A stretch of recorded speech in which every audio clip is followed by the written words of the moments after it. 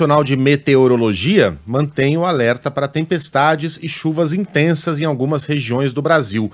Durante o fim de semana, duas crianças morreram na Bahia e ainda a cidade se recuperando das chuvas. É para a Bahia que a gente vai para conversar com o Luiz Felipe Veloso. Como é que está o tempo por aí agora e quais são as últimas informações, Luiz Felipe? Bom dia.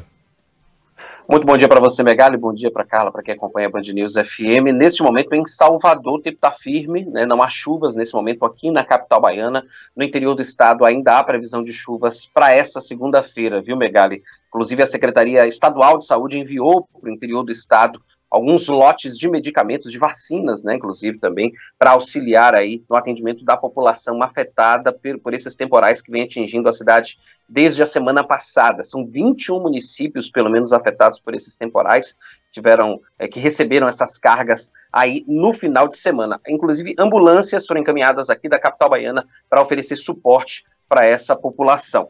Em Santo Antônio de Jesus, no Recôncavo, né, o atendimento à Policlínica Regional de Saúde, inclusive, está prejudicado, só vai ser retomado amanhã, porque as calhas não suportaram a quantidade é, de água né, que, foi, que, que, atingiu aquela região. Em Feira de Santana, um outro hospital de grande porte aqui da Bahia, também o Clériston Andrade, teve uma ala completamente isolada por causa do acesso da água por uma das portas de acesso à unidade de saúde. Em Vitória da Conquista, na região sudoeste, pelo menos quatro famílias tiveram de deixar as casas por causa das chuvas que atingiram é, a cidade no sábado. Em Castro Alves, ocorreu esse caso que você acabou de citar, e a morte de duas crianças de um carro que foi arrastado por uma enxurrada. Essas crianças, inclusive, o corpo delas foi enterrado no final de semana. Esse caso aconteceu na BA 242, no Recôncavo aqui da Bahia na sexta-feira, Megali. Em Muquim de São Francisco, no oeste, cerca de mil pessoas estão desalojadas. Em Vanderlei, que também, cidade que também fica no oeste, cerca de 150 famílias estão desabrigadas ou desalojadas. Em Vitória da Conquista, que fica no sudoeste,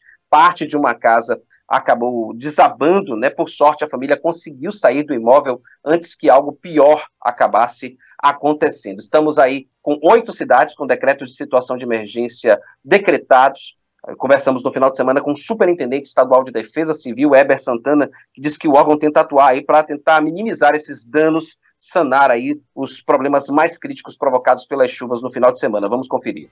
É, nós estamos justamente fazendo esse trabalho de é, assessoramento técnico e também é, providenciando ajuda humanitária, né? itens como colchão, cobertores, água mineral, cestas básicas, kit de higiene, kit de limpeza. Nós já temos é, carros saindo tanto para Medeiros Neto, na região do extremo sul, como também para atender as cidades do oeste, que estão passando por essa situação.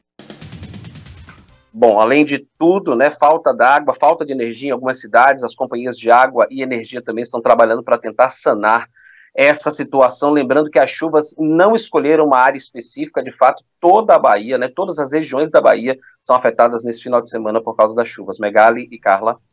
Obrigada, Luiz Felipe. E a gente está na ponta da